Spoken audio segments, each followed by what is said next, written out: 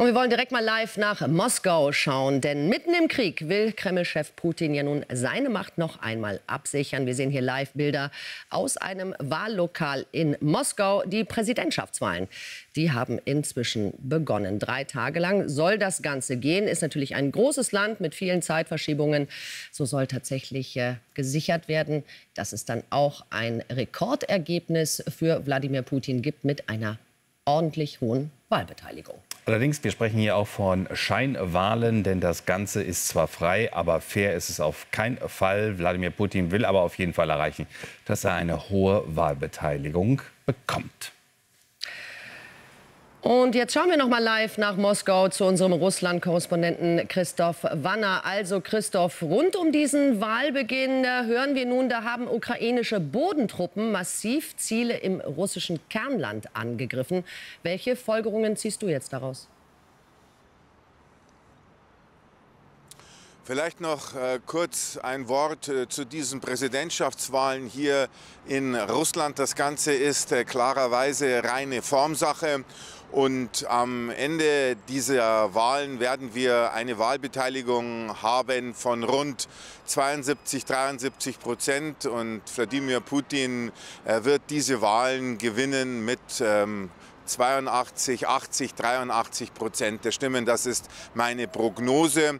Und jetzt heißt es von einem russischen Militärexperten Boris Rojin, ähm, wer behauptet, dass diese Wahlen langweilig seien, der solle sich doch mal angucken und daran erinnern, was im Süden Russlands passiert.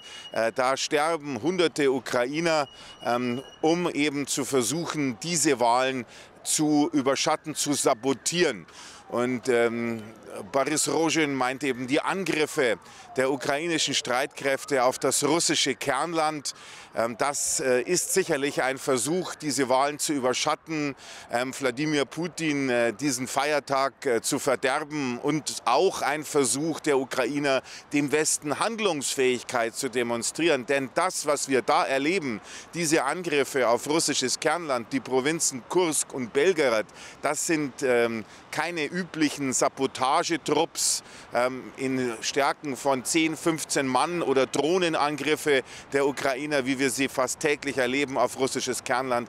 Das sind ähm, komplette Verbände in Kompaniestärke mit äh, gepanzerten Fahrzeugen, mit Panzern, die versuchen, auf russisches Kernland einzudringen und sich da festzusetzen. Da gab es gestern in der Nähe von Belgorod, dieser südrussischen Stadt, also alles russisches Kernland, bei Kosinka sogar eine ukrainische Luftlandeoperation. Da ist wohl ein Helikopter in diesem kleinen Dörfchen gelandet mit ähm, einer Kommandoeinheit und auch die äh, Soldaten haben versucht, sich festzusetzen. Es gab also massive Kämpfe.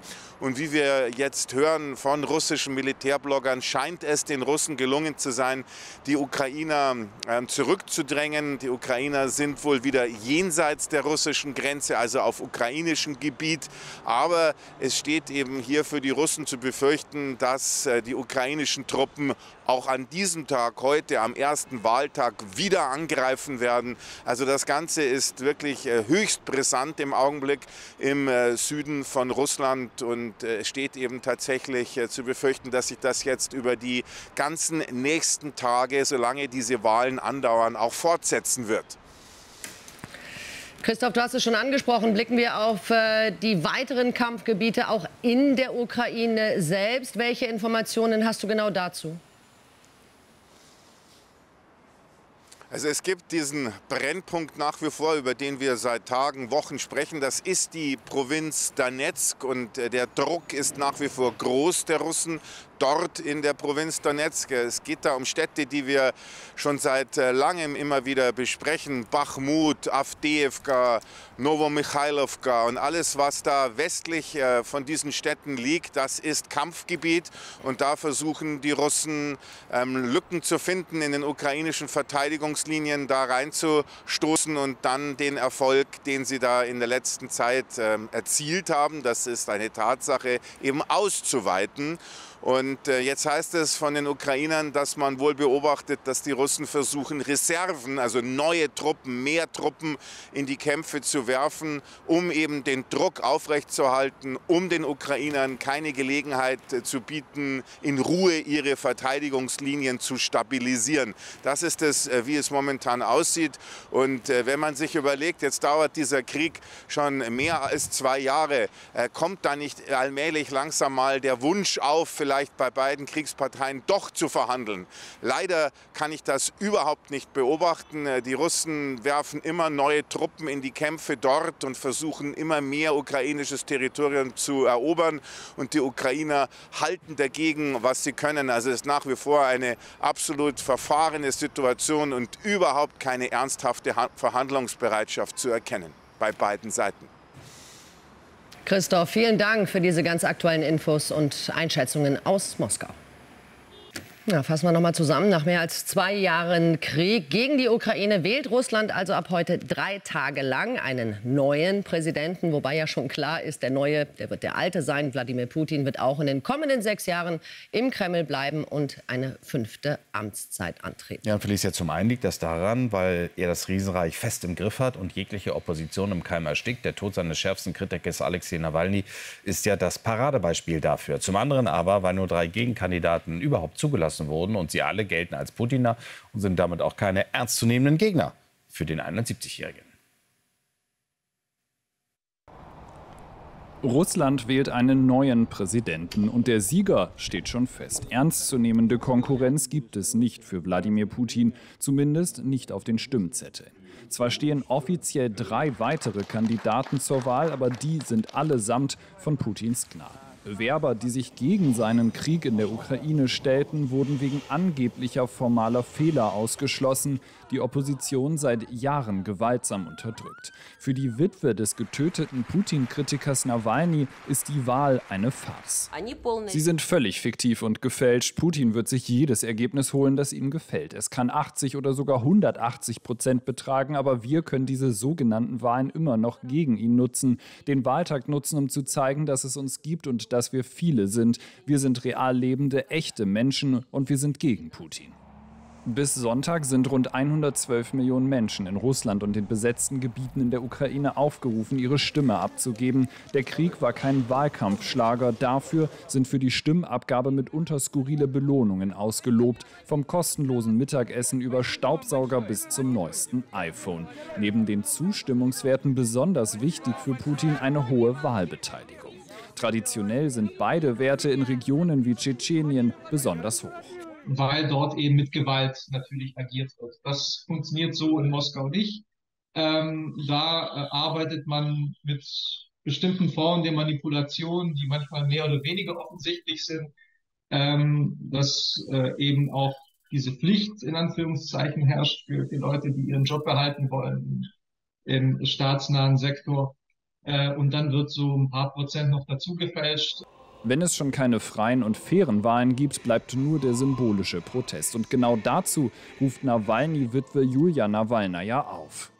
Sie müssen alle am gleichen Tag und zur gleichen Zeit am 17. März um 12 Uhr ins Wahllokal kommen. Sie können für jeden Kandidaten stimmen, außer für Putin. Sie können den Stimmzettel ungültig machen. Sie können Nawalny in fetten Buchstaben darauf schreiben. Nawalny. Obwohl der Wahlsieger nicht in Frage steht, führte Putin einen intensiven Wahlkampf mit Medienauftritten, mit Studierenden in Fabriken oder im Kampfjet. Die Wahl soll ein Zeichen ans In- und Ausland senden, seine Macht legitimieren. Und es gibt viele Reaktionen äh, zu dieser Wahl. Der Vorsitzende des Auswärtigen Ausschusses im Bundestag, Michael Roth zum Beispiel von der SPD, der hat auch sehr scharfe Kritik geübt. Das sind Fake-Wahlen, die mit freien, fairen Allgemeinwahlen nichts zu tun haben. Aber Putin scheint ja sehr besorgt zu sein. Er wünscht sich wahrscheinlich ein stalinistisch-kommunistisches kommunistisches Ergebnis von über 90 Prozent. Äh, deswegen ähm, hat er auch alle möglichen demokratischen Gegenkandidaturen ausgeschlossen und diese möglichen Kandidatinnen und Kandidaten ausgegrenzt. Für mich ist aber auch wichtig, deutlich zu machen, diese Fake-Wahlen in einem Unrechtsregime dürfen vor allem auch dort nicht anerkannt werden, wo die Wahlen völkerrechtswidrig stattfinden, nämlich auf den derzeit von Russland besetzten Gebieten der Ukraine. Und es gibt Weiterwirbel um den Ukraine-Krieg, denn der SPD-Fraktionsvorsitzende im Bundestag, Rolf Mützenich, hat eine Debatte über das Einfrieren des Ukraine-Krieges angeregt. Und dieser Vorschlag stieß natürlich auf heftige Kritik. Der CDU-Außenpolitiker Röttgen zum Beispiel sprach auf der Plattform X von einem unglaublichen Vorschlag. Ja, die Sozialdemokraten, die verabschieden sich von dem Ziel, den Krieg Putins zum Scheitern zu bringen, so Röttgen weiter. Zuletzt hatte Papst Franziskus der Ukraine empfohlen, den Mut zu haben, so wörtlich die weiße Fahne zu hissen und mit Russland über ein Ende des Krieges zu verhandeln. Allerdings ruderte der Vatikan bereits zurück. Ist es nicht an der Zeit, dass wir nicht nur darüber reden, wie man einen Krieg führt, sondern auch darüber nachdenken, wie man einen Krieg einfrieren und später auch beenden kann? Geht es nicht auch politisch um diese Fragen? Und deswegen sage ich Ihnen auch, deswegen sage ich Ihnen auch, das Interview des Papstes mag verstörend, unglücklich gewesen sein in seiner Wortwahl. Aber sich für den Papst zu schämen, geht es nicht auch eine Nummer kleiner aus Ihren Reihen? Ich finde, das wird einer angemessenen Diskussion über die Situation des Krieges in der Ukraine nicht gerecht. Das müssen wir einordnen lassen von Gerrit Sebald für uns im Bundestag. Guten Morgen, Gerrit. Also es ist ja bekannt, Mützenich ist ja genau wie der Kanzler ein großer Gegner der Lieferung von Taurus Marschflugkörpern an die Ukraine. Aber diese Äußerungen jetzt, fällt er dem Kanzler damit im Rücken oder aber wird er von dem Kanzler vielleicht sogar vorgeschickt? Ja, man kann schon die Überlegung anstellen, ob Rolf Mützenich hier ein Ausstiegsszenario skizziert, was vielleicht auch der Kanzler schon seit längerem im Hinterkopf hat. Denn es, die Stimmen werden lauter, auch auf EU-Ebene, in Diplomatenkreisen, dass man glaubt, die Ukraine könne womöglich diesen Krieg eigentlich nicht mehr gewinnen, beziehungsweise die bisher verlorenen Gebiete nicht mehr zurückerobern. Und das war bisher immer die Position, eigentlich zu sagen, die müssen zurückerobert werden. Das war die Position der NATO, das war die Position der EU, das war die Position auch der Bundesregierung. Und wenn man jetzt quasi der Meinung ist, das ist so unmöglich, hier der Kanzler mit seinem Fraktionsvorsitzenden langsam, aber sicher eine Art Ausstieg Ausstiegsszenario zumindest vorbereitet oder sich das zumindest offen hält, zu sagen, irgendwann müssen wir dann doch eine andere Lösung finden, weil die Ukraine eben diese Gebiete nicht zurückerobern erobern kann. Gerrit, die Reaktionen darauf sind natürlich äh, scharf. Norbert Röttgen äh, ist ziemlich äh, sauer, aber auch Andrei Melnik, der ehemalige Botschafter der Ukraine in Deutschland, hat sich geäußert. Der twitterte wörtlich, ja, dieser Typ, also Mützenich, war und bleibt der widerlichste deutsche Politiker für immer und ewig. Das sind natürlich ziemlich harte Worte, aber was zeigen diese Äußerungen? Naja, sie zeigen wahrscheinlich, dass es auch eine Gegenposition gibt zu diesem Ausstiegsszenario. Und zwar, wenn man der Meinung ist, die Ukraine würde gerade verlieren und hätte eigentlich keine Chance mehr zu sagen, naja, dann müssen wir eben noch mehr tun und eben die Ukraine in eine Lage versetzen, dass sie sich eben doch wieder gegen die russische Aggression wehren kann. Und diese Stimmen gibt es ja auch in der Bundesregierung. Die gibt es bei den Grünen vor allem, die ja eigentlich der lauteste Kritiker ihres eigenen Kanzlers, also aus der eigenen Koalition ist. Und deswegen man eben davon ausgehen kann, dass vielleicht doch noch nicht alles verloren ist, zumindest nicht alle glauben, dass alles verloren ist und man sagen muss, nein, wir müssen eben die andere Richtung einschlagen und wir müssen jetzt sagen, wir müssen noch mehr liefern und jetzt endlich dafür sorgen, dass die Ukraine in der Lage ist, sich auch aktiv gegen die russische Aggression zu wehren. Gerrit, danke für diese Einordnungen in den Bundestag. Da wird sicherlich noch einiges kommen und du wirst das für uns natürlich beobachten. Tja, und auch Frankreichs Präsident Macron hat sich zum Thema geäußert. Er hat erneut vor den Folgen für Europa gewarnt, sollte Russland den Krieg gegen die Ukraine gewinnen. Es sei wichtig, dass daher keine roten Linien gezogen werden, da dies dem Kreml nur Schwäche signalisieren würde. Das sagte er in einem TV-Interview. Und das bedeutet, dass der Westen auch weiterhin über die Entsendung von Bodentruppen in die Ukraine nachdenken muss, so Macron weiter. Aus seiner Sicht muss sich Europa auf einen Krieg vorbereiten, wenn es Frieden haben will. Der französische Präsident äußerte sich vor dem heutigen Treffen mit Kanzler Scholz und dem polnischen Premier Tusk im Rahmen des sogenannten Weimarer Dreiecks in Berlin. Scholz lehnt ja eine Entsendung von westlichen Bodentruppen in die Ukraine weiterhin strikt ab. Wir schauen auf den Nahostkonflikt, denn wegen der humanitären Not im Gazastreifen hat das Europaparlament Israel zur Eröffnung aller Grenzübergänge für Hilfslieferungen aufgefordert. Ein schneller, sicherer und ungehinderter Zugang für Lebensmittel und andere Güter sei dringend notwendig, heißt es in einer Resolution, die in Straßburg verabschiedet wurde. Ja, unterdessen hat das israelische Militär Hilfslieferungen auch über den Grenzübergang Karem Shalom zwischen Ägypten, Israel und dem Gazastreifen ermöglicht. Dabei arbeitet Israel mit einer internationalen Gemeinschaft zusammen, um sicherzustellen, dass humanitäre Hilfe die Menschen tatsächlich dort auch erreicht. Die Hilfslieferungen aus der Luft haben in den vergangenen Tagen bereits zugenommen. Auch Deutschland wird sich neben den USA, Frankreich und Jordanien daran beteiligen. Im Bundestag dürfte es heute hoch hergehen. Erneut, denn es geht um das heikle Thema Migration. Im Mittelpunkt der Flüchtlingskrise steht dabei vor allem die weiterhin hohe Belastung für die Länder und Kommunen. Die Kritik an der Ampelkoalition richtet sich vor allem an die fehlende finanzielle Unterstützung Berlins und das Problem der Unterbringung. Ja, der Ort Gadebusch in Mecklenburg-Vorpommern, der ist dabei eine Art exemplarisches Beispiel. Die knapp 6000 Einwohner zählende Gemeinde macht sich wegen eines geplanten Containerdorfes für zusätzlich bis zu 150 Flüchtlinge große Sorgen um die Sicherheit. Erhitzte Gemüter in Gadebusch in Mecklenburg-Vorpommern. Hier sollen bis zu 150 Flüchtlinge untergebracht werden. Zunächst in Containern, später dann in diesem Polizeigebäude. Sehr zum Unmut vieler Menschen aus dem Städtchen und seinen Nachbargemeinden. Sie fühlen sich von der Politik übergangen. Die Landesregierung ist dafür da, den Willen des Volkes zu vertreten. Ja, und das ist hier als solches absolut nicht geschehen in meinen Augen. Eigentlich hat man die Nase voll von diesen ganzen Flüchtlingspolitik, was sie uns so als Flüchtlingspolitik verkaufen. Die Regierung hat versprochen, das zu reduzieren. Aber was passiert? Es kommen immer mehr. Und das sind ja keine Kriegsflüchtlinge mehr, das sind alles soziale Flüchtlinge, also Wirtschaftsflüchtlinge. Tino Schomann, CDU-Landrat von Nordwestmecklenburg, versteht die Sorgen der Bürger. Eine Infoveranstaltung zu den Flüchtlingsheimplänen in Gadebusch am Abend verläuft friedlich, aber Nichtsdestotrotz wurde auch hier wieder deutlich, dass die Kommunen am Ende äh, der Nahrungskette sind, wenn es darum geht, entsprechend die Kapazitäten zu schaffen. Das habe ich hier auch noch mal deutlich gemacht und äh, dass wir als kommunale Ebene äh, ja, regelrecht absaufen und die Bundesregierung nichts tut. Allein in den ersten beiden Monaten des Jahres haben 50.000 Menschen in Deutschland Antrag auf Asyl gestellt. Den Zustrom begrenzen wollen Bund und Länder unter anderem durch die Umstellung von Barzahlungen auf eine Bezahlkarte für Flüchtlinge. Doch eine entsprechende Gesetzesänderung wird nun von den Grünen verzögert. Sie sehen noch Klärungsbedarf. Wir schauen uns ja das an, was in den Prüfaufträgen von Seiten der Bundesregierung an uns übermittelt wurde. Das machen wir so lange, bis wir dann auch eine gute Lösung gefunden haben am Ende. Bei der Opposition stößt die Blockadehaltung auf Unverständnis. Diese Debatte und auch die Äußerungen der grünen Abgeordneten, die zeigen jetzt ganz eindeutig, es geht gar nicht um die Frage, ob eine Rechtsgrundlage notwendig ist oder nicht. Die Grünen wollen die Bezahlkarte nicht.